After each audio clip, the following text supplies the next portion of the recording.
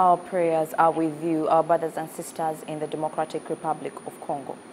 Now, coming back home, the Kampala Capital City Authority has vowed to intensify action towards street vendors and boda-boda cyclists for the misusing of the non-motorized transport corridors that were established to ease movement of people with disability, pedestrians and bicycle riders.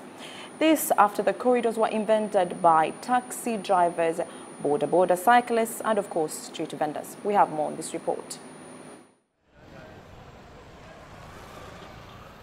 Kampala's non-motorized transport corridor, which was unveiled last year by the KCCA, has been invaded by street vendors, taxis and boda bodas who congest the lane, leaving pedestrians and motorists competing for space.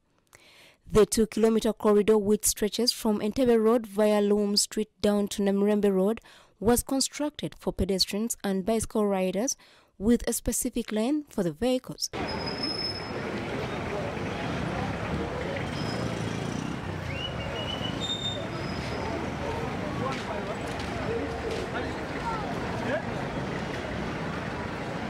a visit to Namirembe Road, we discovered that the corridors have been misused.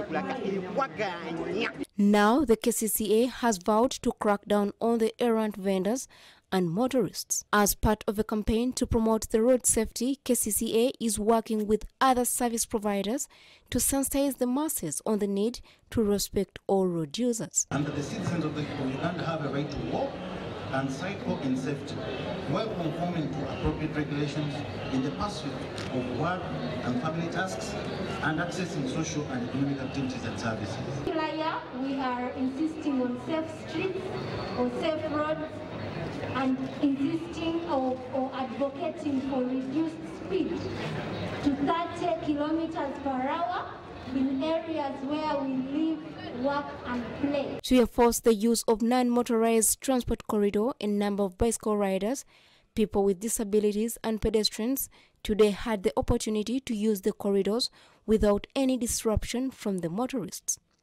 The Street for Life Love 30 campaign was signed off today by key stakeholders. Rachel Nachwala reporting for the news in